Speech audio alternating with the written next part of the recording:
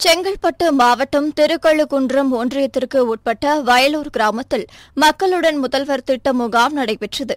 இதில் விடுதலை சிறுத்தைகள் கட்சியின் செய்யூர் சட்டமன்ற உறுப்பினர் படையூர் மு பாபு சிறப்பு அழைப்பாளராக கலந்து கொண்டு இம்முகாமை குத்துவிளக்கேற்றி துவக்கி வைத்து மக்களிடம் இருந்து மனுக்களை பெற்றார்.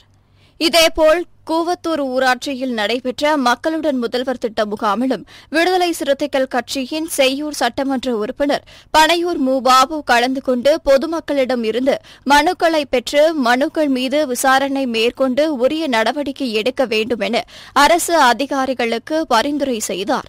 இந்நிகழ்ச்சியில் செங்கல்பட்டு சார் ஆட்சியர் நாராயணன் சர்மா திருக்கழுக்குன்றம் ஒன்றிய பெருந்தலைவர் ஆர் டி அரசு திருக்கழுக்குன்றம் தெற்கு ஒன்றிய திமுக செயலாளர் சரவணன் உள்ளிட்ட ஏராளமானோர் கலந்து கொண்டனர்.